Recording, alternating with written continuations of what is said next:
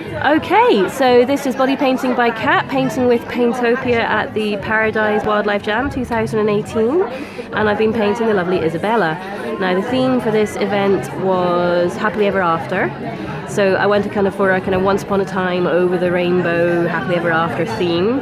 So I made all the paper flowers, made the paper wig, made all the words. The wig itself is made from a vintage book, two vintage books actually. I think one was Scouting in the 1940s and the other was a storybook.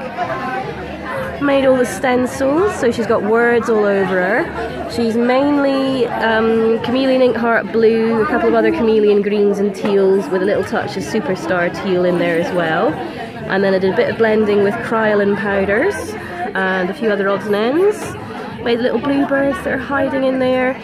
Um, the tiny, tiny little flowers with the gems and pearls in them um, are from Hobbycraft. And yeah, don't know what else to say about that really. it's been a fun one.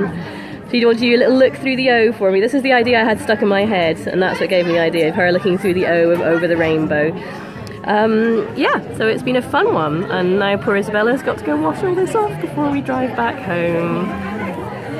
So I'll just do a straight up and down. Oh yeah, um, that's a little bit of freehand glitter tattooing, just sort of over and around the little wisps I did with the brush. And she's also got glitter lips on.